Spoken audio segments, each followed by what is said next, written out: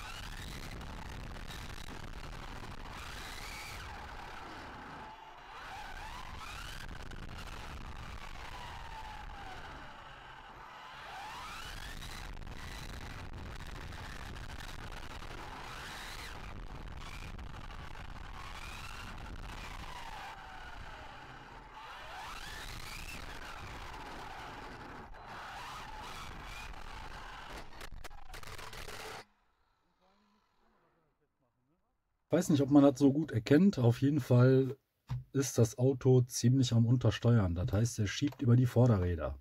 Ich hätte eigentlich damit gerechnet, dass der jetzt äh, übersteuert, dass der ziemlich äh, mit dem Heck rumwedelt, aber das macht er nicht. Also gut, macht er schon, bloß bei Vollgas.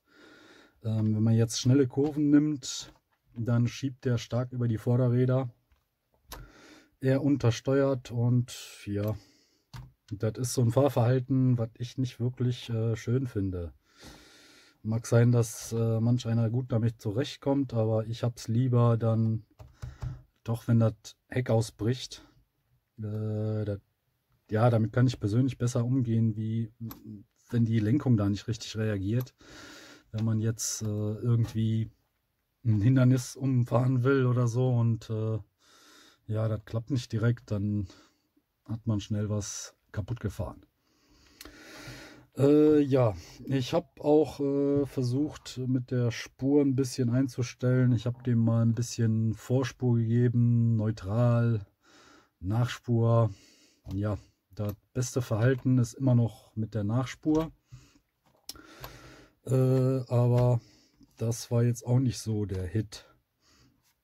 Dann äh, habe ich mir das Auto noch mal ein bisschen genauer angeguckt und äh, ja, ich muss sagen, das hat einen starken Nachlauf.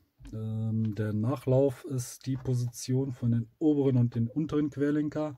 Das heißt, die Punkte, die zur Radnabe gehen, die sind äh, nicht gerade, sondern halt äh, so nach hinten, äh, so schräg nach hinten versetzt. Äh, hier ist die obere Aufnahme, hier ist die untere Aufnahme. Dadurch haben wir so einen ja, Nachlauf. Und äh, beim Einlenken äh, kippen die Räder. Äh, das hat, äh, ja, beim Offroader ist das super.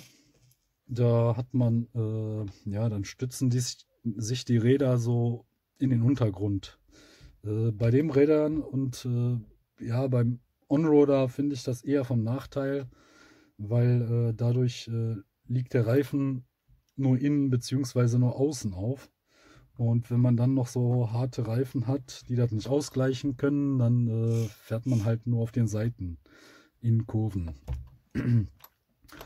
äh, ja, ich habe mir das genauer angeguckt und äh, normalerweise müsste man halt äh, entweder den vorderen, äh, den oberen Querlenker weiter nach vorne versetzen oder den unteren weiter nach hinten versetzen, um das jetzt ein bisschen rauszunehmen. Und das ist hier leider nicht möglich. Der liegt schon hier oben an. Der hat hier unten gar kein Spiel.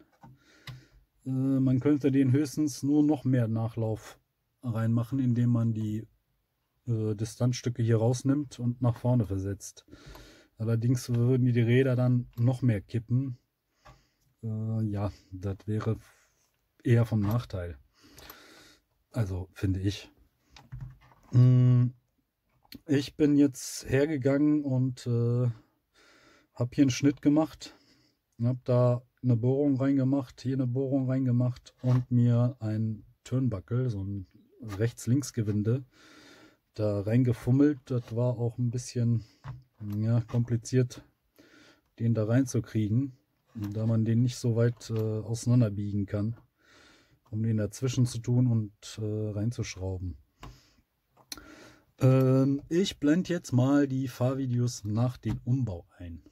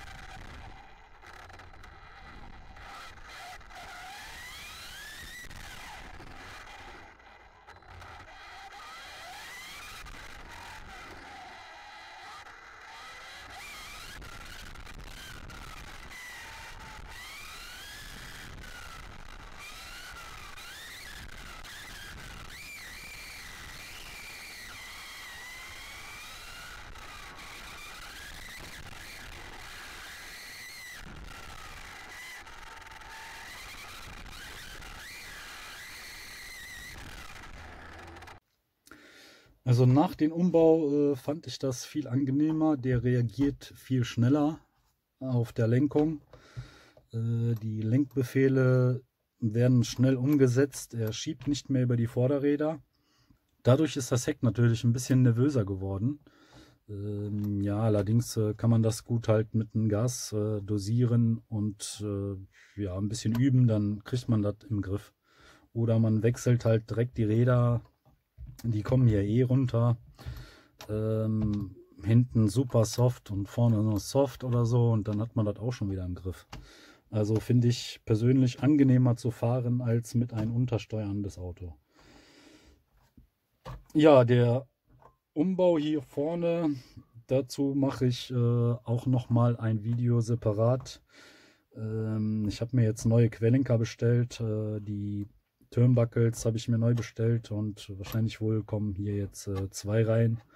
Dann kann man die besser, ja, besser anpassen, dann kann man das besser zusammenbauen.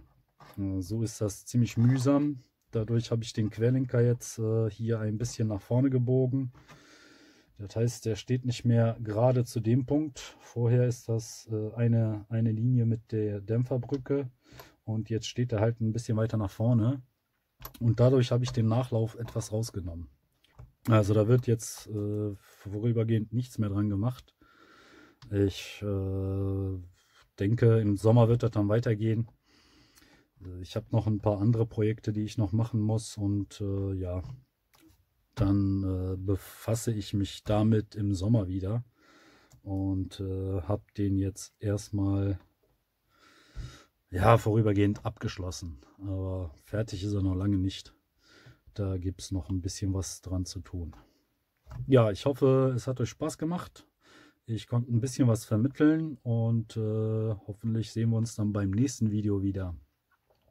In diesem Sinne, macht es gut und bis demnächst.